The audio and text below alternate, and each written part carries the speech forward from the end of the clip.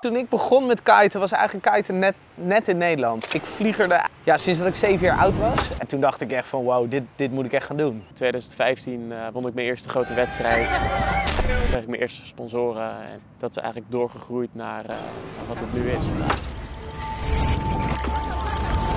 professioneel kitesurfer komt er veel meer kijken dan alleen kiten. Bezig met productontwikkeling, met shoots voor verschillende sponsoren, met nieuwe marketingideeën. Ik zie dat wel echt als de, de jobpart van het kiten. Wat heel veel mensen eigenlijk alleen zien is dat ze mij bijvoorbeeld in Kaapstad uh, 30 meter hoog uh, boven de zee zien hangen. Maar achter de schermen is het, uh, ja, is gewoon best hard werken. Uh, twee jaar geleden ben ik mijn eigen bedrijf gestart samen met mijn compagnon.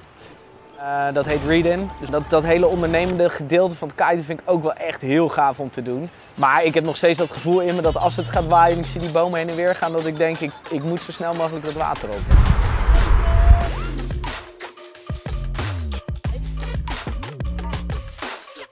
beginnen met meedoen aan het wedstrijd. En als ik dat eenmaal had gedaan, dan wilde ik de wedstrijd winnen. Vond ik het fijner werken om eigenlijk een soort niet lage goals te zetten, maar wel zeker weten realiseerbaar. Het kunnen hele kleine dingen zijn. Het kunnen dagdoelen zijn. Die stel ik ook heel vaak voor mezelf. Ja, daar haal ik gewoon zoveel motivatie uit.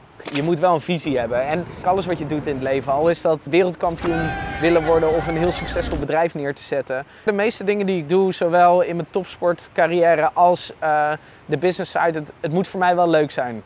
Be so good as you. Yeah, just have fun. Ja, ik ken Kevin al een heel stuk langer dan dat hij mij kent. Ja, eerst was het gewoon een guppie. Want hij was vroeger eigenlijk al uh, wereldkampioen toen ik nog niet eens kon kiten. Dus ik keek eigenlijk altijd heel erg naar hem op. Zag ik wel dat hij steeds harder aan het pushen was en even. Dit is, uh, ik denk dat hij wel potentie heeft.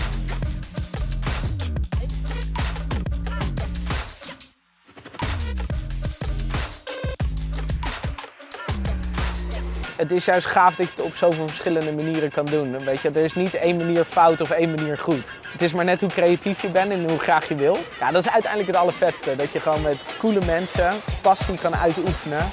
En uh, ja, we're living the dream.